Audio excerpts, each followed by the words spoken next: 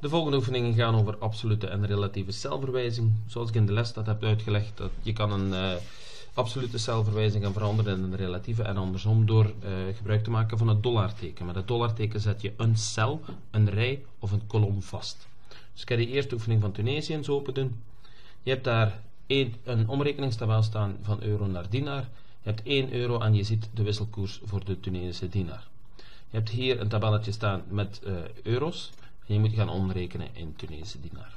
Vrij eenvoudig, je drukt op de is, je drukt op het aantal euro's, drukt op het maalteken op het toetsenbord en drukt op de koers natuurlijk. Nooit zelf de koers typen. Stel dat de koers zou veranderen, dan zou je oefening niet meer werken. Dus in principe zou dit je 1965 Tunesische dinar moeten geven.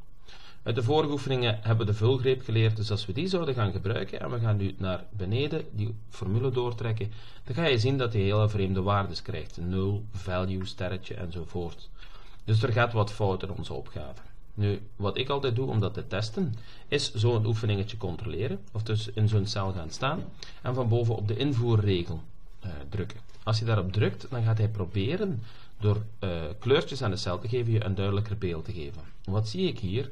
Dat mijn rij in mijn B-kolom twee rijen naar beneden gegaan is, wat dat wel degelijk klopt, want ik heb nu die 3 euro nodig, maar dat datzelfde gebeurt is hier, van de wisselkoers twee naar, rijen naar beneden en T en D. En dan krijg je natuurlijk 3 maal T en D, wat hij helemaal niet kan berekenen.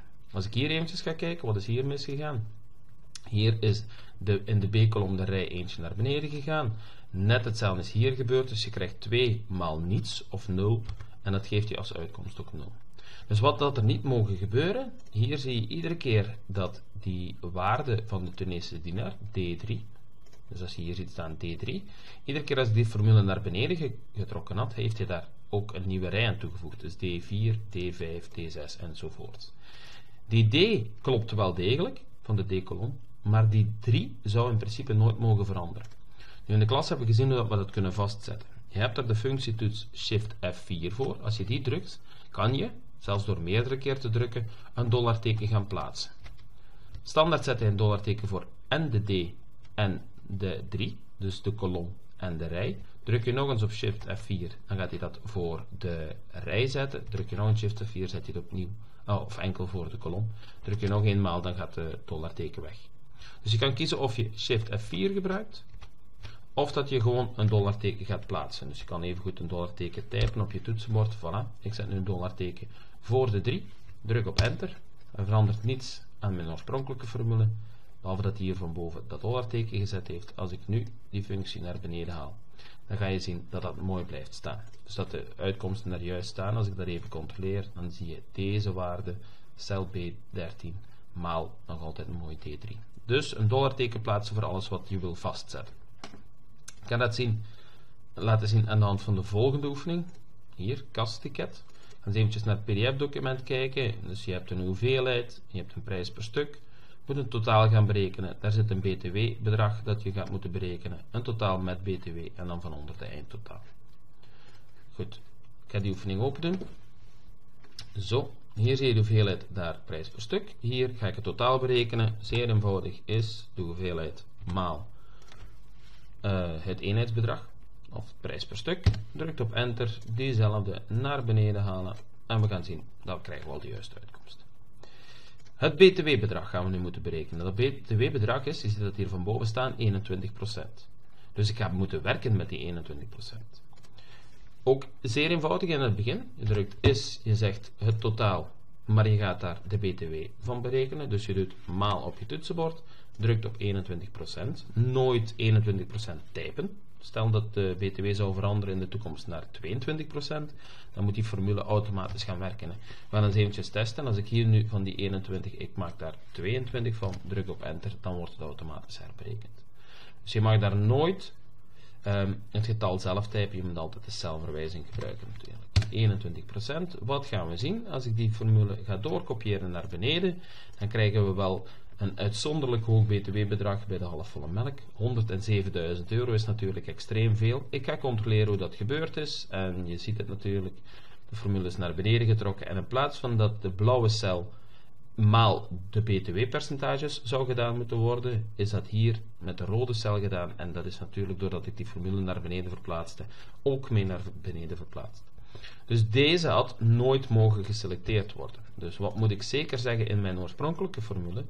Je moet altijd gaan rekening houden met F3. Die 3 mag nooit mee naar beneden gesleept worden. Je zou hier ook kunnen zeggen shift F4 en een dollarteken voor de F zetten. Maar aangezien we de formule alleen naar beneden trekken, gaat die F altijd een F blijven. Dus dat dollarteken voor die F is niet nodig. Dus dat wordt dollar 3.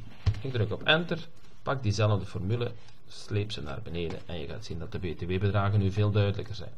We gaan het totaal berekenen met de btw, is gelijk aan het totaal, plus op je toetsenbord, de btw erbij, en je hebt de formule net hetzelfde als zou je de som gebruikt hebben, dus dat zou ook werken.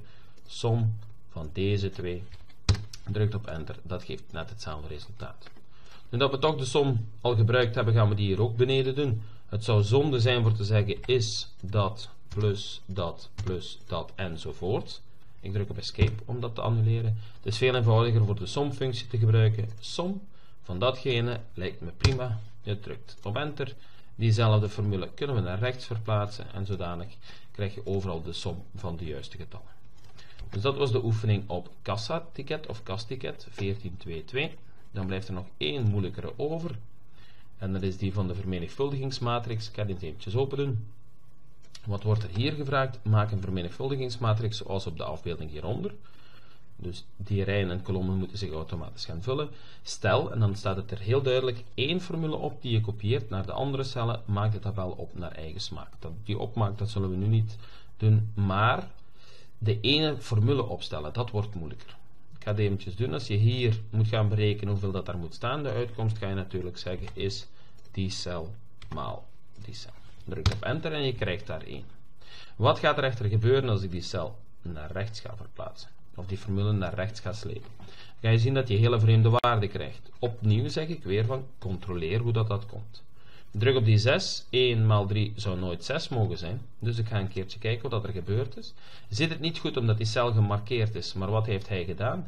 D5, dus deze, D5 maal die E4 gedaan. En dat is uiteraard fout. Die D5, dat had nooit mogen veranderen. Dat had B5 moeten zijn. Dus de B is een D geworden. Dus wat hadden we zeker moeten zeggen hier? Die B, trouwens die hele B-kolom, mag niet veranderen. Dus ik zet een dollarteken voor de B. Druk op enter en ik ga het eens opnieuw proberen. Pak diezelfde formule en trek dat naar rechts. Dat lijkt me prima. Dan gaan we diezelfde formule naar beneden verslepen. En je gaat zien dat je weer verkeerde uitkomsten krijgt.